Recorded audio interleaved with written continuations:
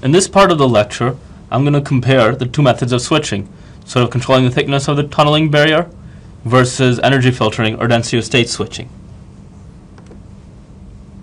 So, as we saw earlier, there's really two ways to obtain a steep turn on in tunneling. One is to change the thickness of the tunneling barrier from a thick barrier, where then we apply some voltage, pull this down and make the barrier thinner and switch it on. Or alternatively, we can rely on the alignment of the band edges, where here they don't align, and so no current can flow. With a little bit of bias, they do align, and so all of a sudden we can get a sharp turn on. So now the problem is, in practice, there's a lot of issues with both of these mechanisms. And so now let's try to go through and understand what are all the challenges that we need to overcome. So first, let's try to make an estimate of what are the steepness we can get from barrier thickness modulation.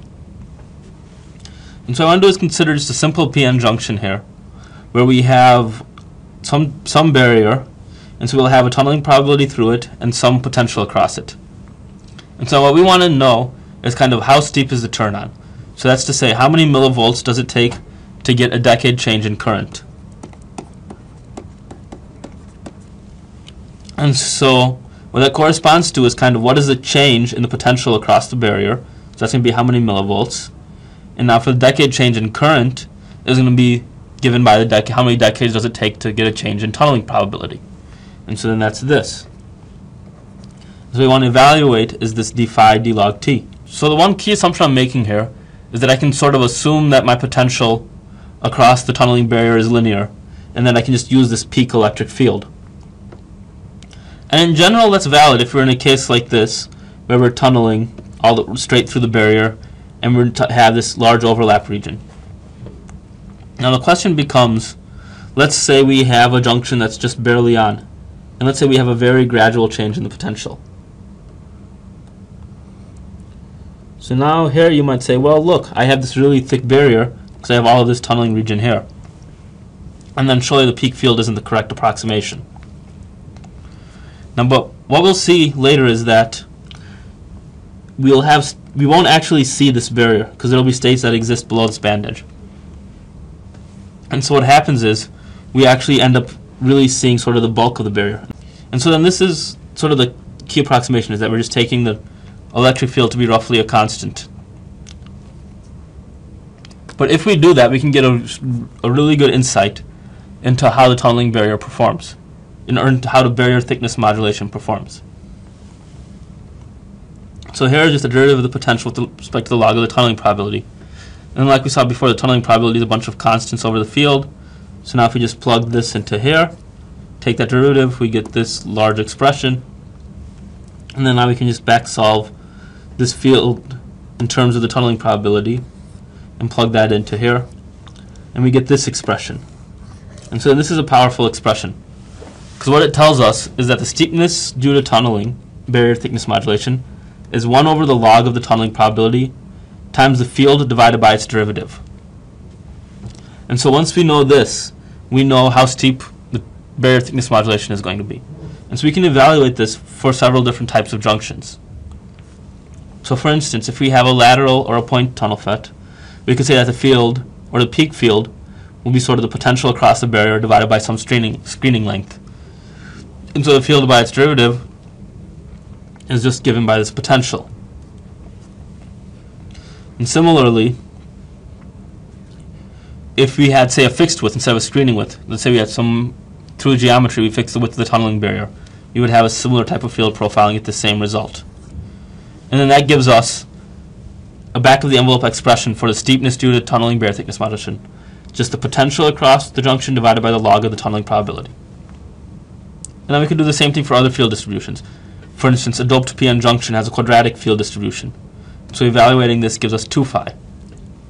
And so we get something similar, but with an extra factor of 2, telling us it's twice as bad. So now what does this mean? Is this a reasonable expression? This actually explains a lot of the best experimental TFET results, and it's still not good enough. Because what's happening is, if you look at it, this barrier height divided by the log of the tunneling probability. What that means is that as your current gets higher, your tunneling probability is going to approach 1. And that means your steepness is going to get worse and it's going to start to roll off. And so this is exactly what we see in these experimental results. It's very steep at low current densities, So like for instance in this result, it's around a nanoamp where we start to see something around 60 millivolts per decade. But then once you get up to the higher, more interesting current densities, the steepness rolls off and it's no longer very good. So unfortunately, we're only steep at a nanoamp per micron when we wanted a milliamp per micron. And so, only off by six orders of magnitude.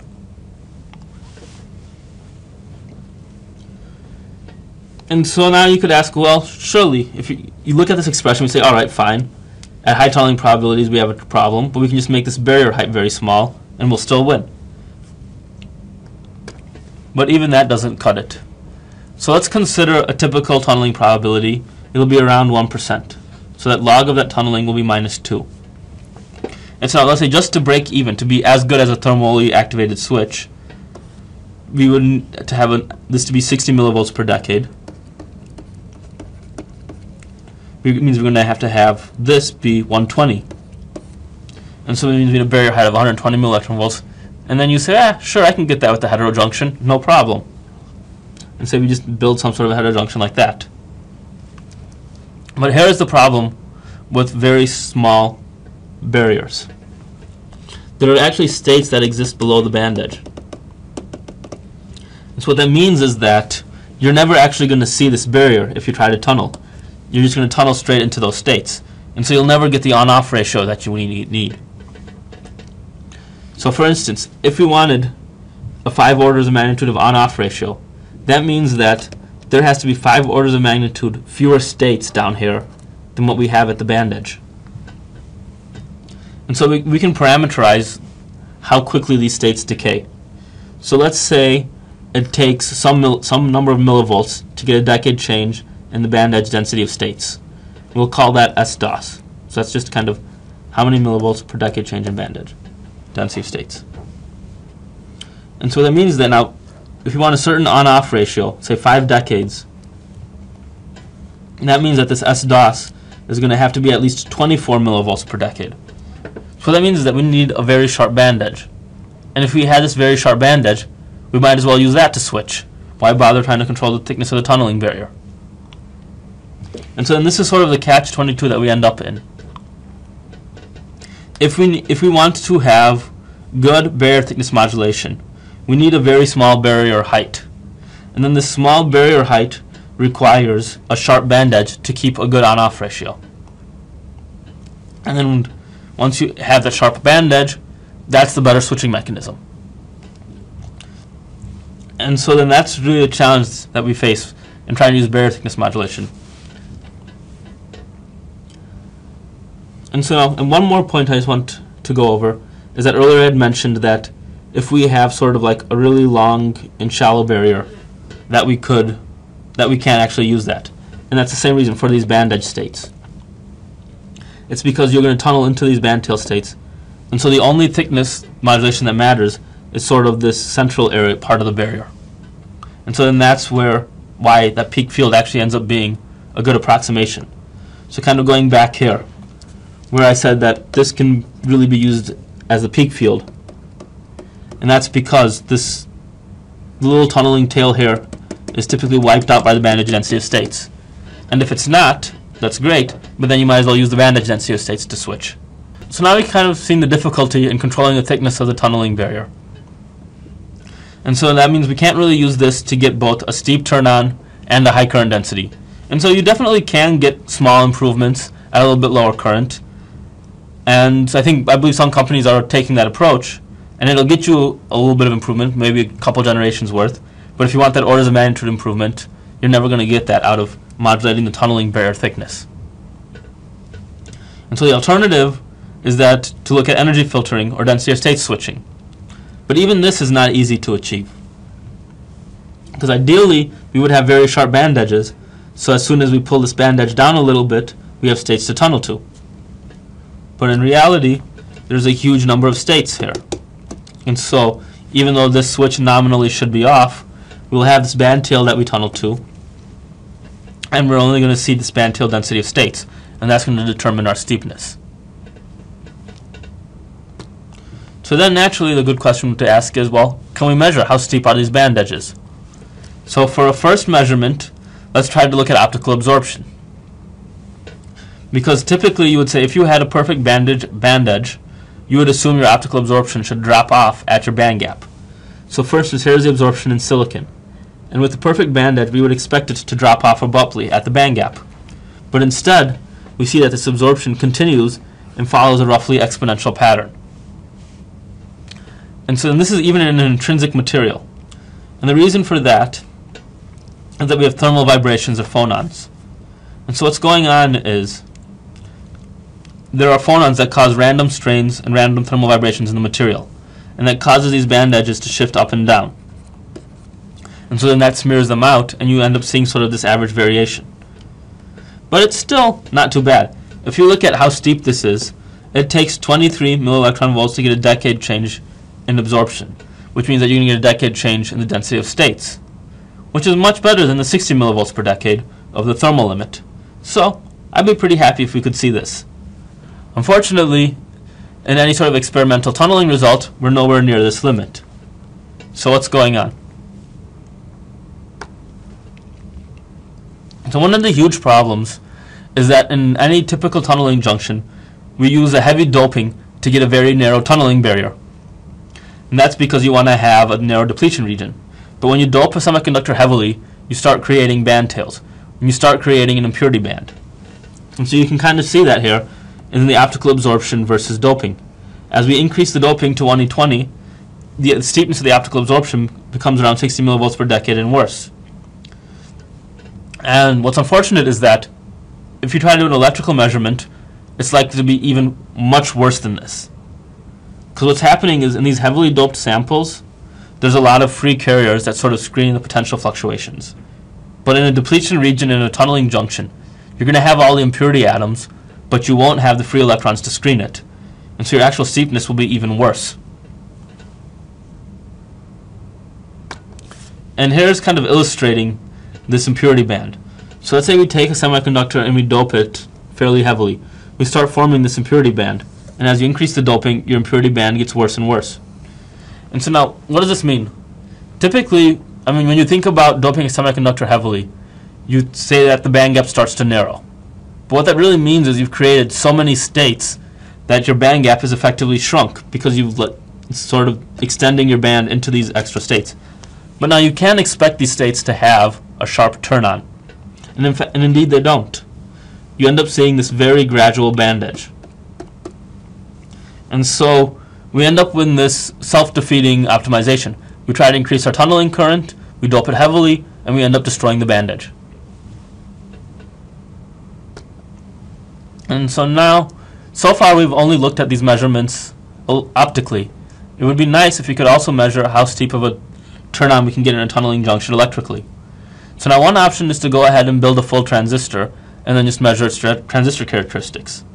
But a much simpler method is to actually just build a tunneling diode and then try to interpret its steepness. And so there's actually a very simple way we can do that. So here, for instance, we have a heterojunction indium arsenide gallium antimonide tunneling diode. And here is the band diagram. And so here is the IV, and what you can see is it's a typical Esaki diode. You have a large amount of current in reverse bias. Then we have this little bit of an Esaki region where the current increases in forward and then decreases, and then you have your normal forward current going up. And now we could try to ask how steep is it? How many millivolts does it take to get a decade change in current? The problem is that we come here near this zero crossing, and it looks like it's getting infinitely steep, because it takes almost it takes no voltage to get a decade change in current. But that's just an artifact of the sign changing, current going from positive to negative. So the key is to not look at the current, but rather the conductance, the current divided by the voltage. And that's because what's really changing as we turn the tunneling off is the conductance or resistance of the tunneling junction. And so then that's what we want to measure. And that's the same idea is that in the channel of a transistor, the gate is modulating the channel conductance, but the actual magnitude of the current is set by the source drain bias. And so if you just look at the conductance, you can actually read off how steep that tunneling junction is. And so there's a little bit of subtlety to prove it mathematically, and you can see that in this paper. But the first thing to note is that this is actually one of the best diodes out there. and it's not very steep, only 100 millivolts per decade. So that's somewhat worrying, because we're not seeing a very sharp turn on. So let's look at some other devices. So for instance, here is a tunnel FET that was built. And again, so this wasn't that great. There was a lot of defects in the oxide. And so if you look at its the steepness of its IDVG, it's not that steep. It takes 216 millivolts change on the gate to get a decade change in the drain current. But what's nice is that if you take a look at its two terminal measurements, say we look at the drain current versus the drain voltage, and then plot the conductance, we actually see a much steeper cur curve. And that's just because this helps eliminate some of the gate parasitics. And so you can get a little bit better of an intuition of what's going on in the actual tunneling junction, rather than worrying about all the gate effects. And so this is kind of like another advantage of building the diode over a gate, over a gated transistor.